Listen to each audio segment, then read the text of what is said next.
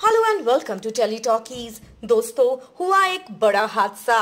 Colours TV के show के set पर हालत हुई काफ़ी खराब। क्या हुआ है?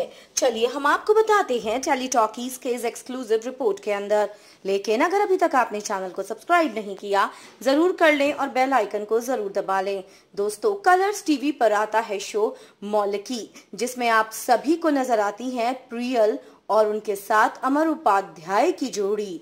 लेकिन अब उसके सेट पर हुआ बड़ा हादसा। जी हाँ मेजर एक्सीडेंट हुआ है मौलकी के सेट पर, जब शादी के सीक्वेंस को शूट किया जा रहा था। शो पर ब्लास्ट हो गया। सेट पर गैस लीक हुई, जिसके बाद पूरा शो पूरा सेट जल उठा। हम आपको ये बता दें कि एक्टर्स अभी पूरी तरह से सेव कर लिए गए हैं।